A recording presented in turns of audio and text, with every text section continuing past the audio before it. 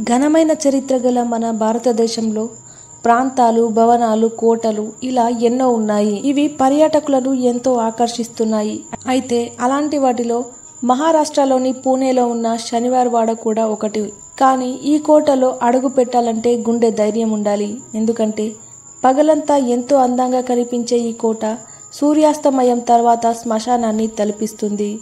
పౌర్ణమి వచ్చిందంటే చాలు. ఆ కోట పరిసరాల్లో నిశ్శబ్ద వాతావరణం ఉంటుంది. అక్కడికి వచ్చే పర్యాటకులను కోట పరిసరాల్లోకి కూడా వెళ్ళవద్దని అక్కడి వారు హెచ్చరిస్తుంటారు. నిండు వెన్నెల్లో అక్కడ ఏవేవో అరుపులు ఆకారాలు తమకు కనిపిస్తుంటాయని అటుగా వెళ్తే అవి తమను వెంటాడుతాయని అక్కడి వారు చెప్తుంటారు. అలాగే సాయంత్రం ఐదు దాటిన తర్వాత కూడా అక్కడ ఎవరూ ఉండకూడదు. అక్కడి సెక్యూరిటీ సిబ్బంది కూడా సాయంత్రం వేళలో ఈ పరిసరాల్లో ఉండొద్దని హెచ్చరిస్తుంటారు. ఆ కోటలో ఏం జరిగిందో తెలుసుకోవాలంటే ముందుగా ఆ కోట చరిత్ర గురించి తెలుసుకోవాలి. ఈ కోటను బాజీరావు పేష్వా నిర్మించారు. అయితే బ్రిటిష్ వారి దాడి వల్ల కోటలో రాతి నిర్మాణాలు మాత్రమే మిగిలి ఉన్నాయి.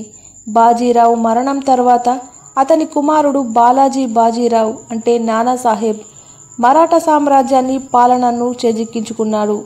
నానాసాహెబ్కు మాధవరావు విశ్వాసరావు నారాయణరావు అనే ముగ్గురు కుమారులు ఉన్నారు. నానాసాహెబ్ యుద్ధంలో వీరమరణం తర్వాత మాధవరావు ఆ బాధ్యతలు తీసుకున్నారు. మరొక యుద్ధంలో అతని రెండో సోదరుడు విశ్వాసరావు కూడా చనిపోయారు. తమ్ముడి మరణాన్ని జీర్ణించుకోలేక మాధవరావు ఆత్మహత్య చేసుకున్నాడు.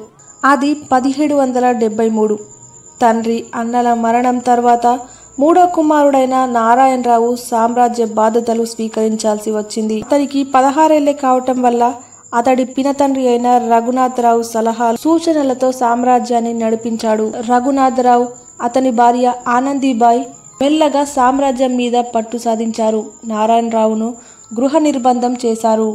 నారాయణరావు పాలన సమయంలో రఘునాథరావు కుట్ర వల్ల గార్ది అనే గిరిజన జాతి ప్రజలతో విభేదాలు తలెత్తాయి. దీనివల్ల రఘునాథరావు భార్య ఆనందీబాయి ఆ అవకాశాన్ని సద్వినియోగం చేసుకోవాలని అనుకుంది. ఈ సందర్భంగానే గార్దీ జాతి పెద్దకు ఓ లేఖ రాయాలని భర్తకు చెప్పింది. నారాయణరావుపై కక్ష తీర్చుకునే సమయం వచ్చిందని కోటలోకి వస్తే అతడిని మీకు పట్టిస్తానంటూ రఘునాథరావు లేఖ రాసి గిరిజనులకు పంపించాడు. రఘునాథరావు లేఖ మేరకు గిరిజనులు రహస్యంగా కోటలోకి ప్రవేశించారు. నారాయణరావు గదిలోకి ప్రవేశించి హత్య చేశారు. అనంతరం శరీరాన్ని ముక్కలు ముక్కలుగా నరికి కోటను దాటించారు.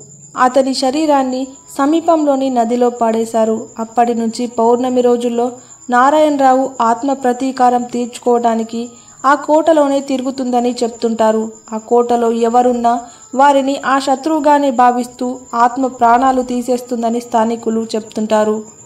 అంతేకాక నారాయణరావు మరణం తర్వాత కోట సమీపంలో ఏర్పడిన మంటల్లో చాలామంది చనిపోయారని పౌర్ణమి రోజుల్లో వారి ఆత్మలు కోట చుట్టూ తిరుగుతుంటాయని చెప్తుంటారు. అయితే అక్కడ నిజంగా ఆత్మలు ఉన్నాయా?